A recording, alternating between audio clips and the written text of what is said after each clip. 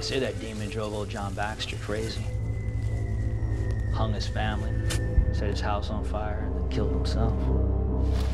Though they never found his remains. I read somewhere that Native American myths were created to teach us lessons.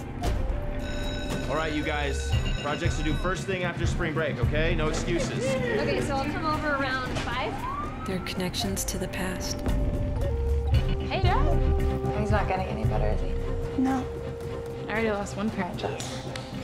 I can't lose him too. Sharing spiritual bond between us and animals. So what does the demon look like? He's a wolf dog.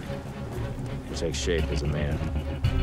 He's just trying to scare us. I got it. Oh, thanks. Some seek to find it, This is it, guys. Go.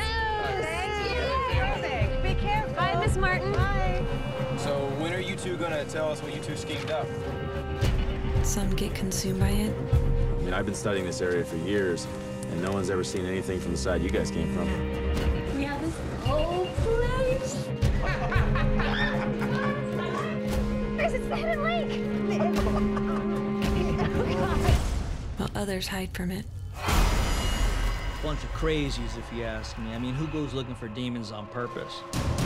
It happened right here. Show us. Okay, please, let's go. Yeah. Come on. I see something, guys.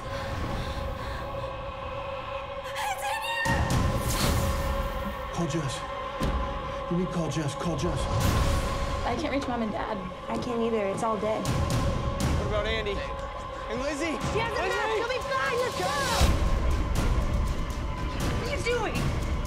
It could cost you your life. We heard wolves howling, and then that thing. Lizzie. They say there's two wolf spirits that are fighting within us. One is good, the other is evil. What the hell was that? Which one will you feed?